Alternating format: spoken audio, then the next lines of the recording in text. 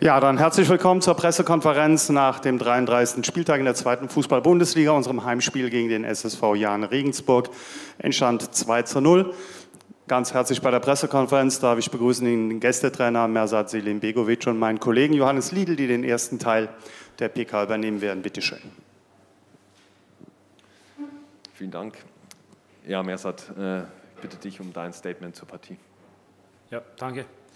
Ja, und so ein Spiel an sich, genauso wie wir erwartet haben, dass Sandhausen kommt, dass wir auch da Lösungen suchen mussten, dass wir uns da befreien mussten von dieser 1-1-Geschichte. Aber das, was wir nicht erwartet haben, dass wir nach der ersten Flanke von Mittellinie 1-0 in, in Rückstand gehen und dass wir bei Ecke für uns einen zweiten fressen und ja, am Ende, glaube ich, über 60 oder knappe 65 Prozent Ballbesitz hast, aber keine keine zwingenden Torchancen und ja, ich wollte am Ende jetzt auch nicht voll ins Risiko gehen, weil das Torverhältnis kann am Ende auch eine Rolle spielen und es war ärgerlich natürlich, äh, weil wir hatten wieder eine Gelegenheit mit einem Punkt den Sack zuzumachen. Wir haben es nicht geschafft. Wir wollen das bis Ende spannend halten, irgendwie habe ich Gefühl und Jetzt haben wir eine Finale, jetzt haben wir genau das, was wir nicht haben wollten, aber wenn das so ist, das nehmen wir dann an und bereiten uns jetzt eine Woche für das letzte Heimspiel gegen St. Pauli und dann sind wir verdammt zu siegen und das müssen wir auch gewinnen und durchziehen.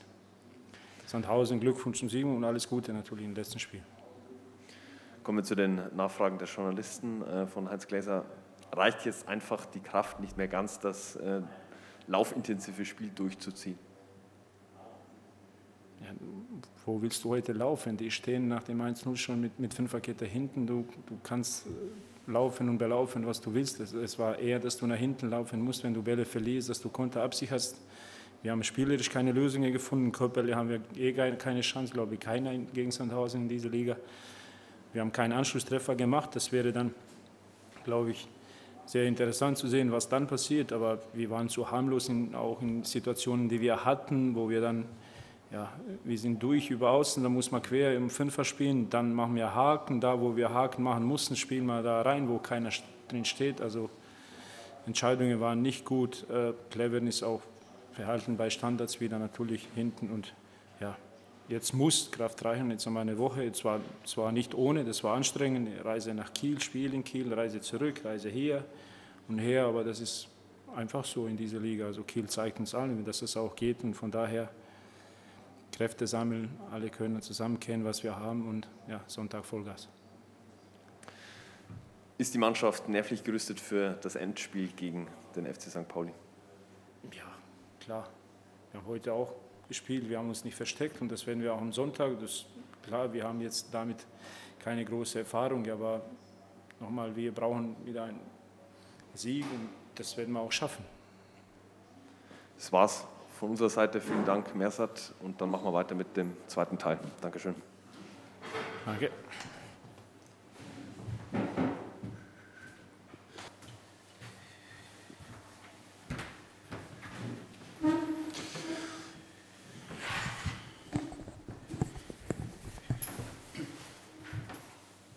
Gut, dann kommen wir zum zweiten Teil der PK mit unserem Trainer Gerhard Kleppinger. Kleppo, dein Kommentar zum Spiel bitte.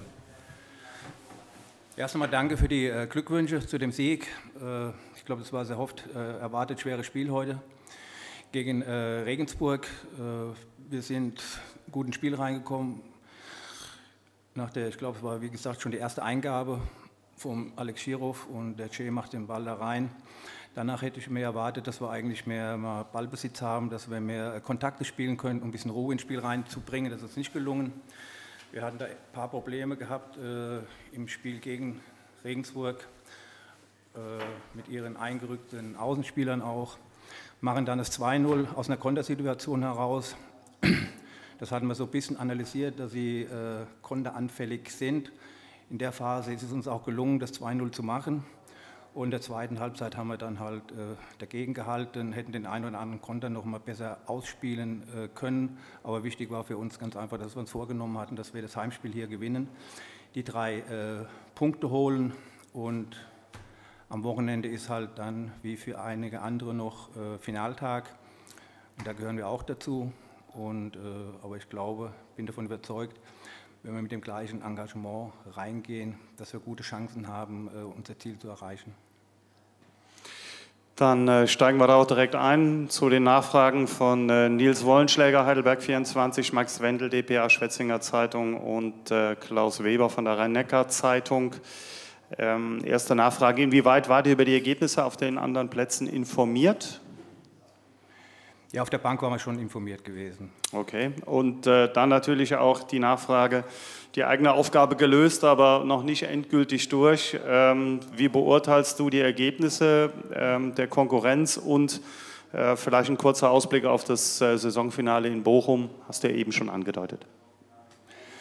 Ja gut, wir wissen ja, Fußball ist eigentlich so kein, kein Wunschkonzert. Äh, wir hatten eigentlich eher damit gerechnet, dass Braunschweig äh, die drei Punkte einfährt.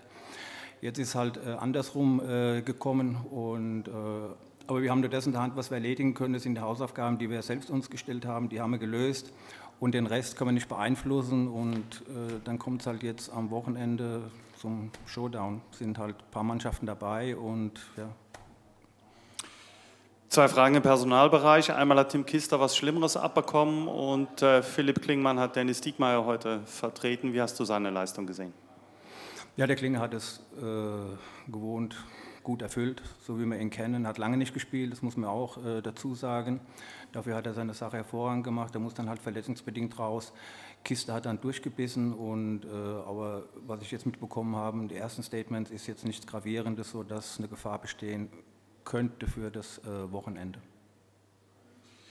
Ja, jetzt äh, spielt die Auswärtsbilanz für die fragenden Kollegen eine Rolle. Ähm, inwiefern lässt sich das vor dem letzten Spiel in Bochum verdrängen? Ja gut, das, äh, diese Fragestellung, die verfolgt uns ja schon seitdem wir jetzt hier sind. Äh, die Bilanz steht so. Wir müssen gucken, dass wir es hinkriegen, wir müssen es aus den Köpfen rauskriegen. Wir waren auch schon ein paar Mal auf dem richtigen Weg bei den Spielen auswärts, äh, dass wir den Dreier mitbringen und haben es aber nicht geschafft, das äh, durchzuziehen. Und äh, ja, gut, so banal wie das jetzt auch klingt, wir werden einen neuen Anlauf nehmen in, äh, in Bochum und äh, wenn wir mit dem gleichen Engagement reingehen, wenn wir äh, dann auch äh, seriöser verteidigen, daran sind wir ja teilweise auch gescheitert, an so Lapsusverteidigung, dann werden wir da auch was ziehen. Gut, ja, wir freuen uns auf das Saisonfinale. Unseren Gästen wünschen wir einen guten Heimweg und natürlich auch alles Gute am letzten Spieltag. Das äh, war's von uns. Ihnen noch einen schönen Restsonntag. Bleiben Sie gesund. Bis nächste Woche. Dankeschön. Tschüss. Ciao.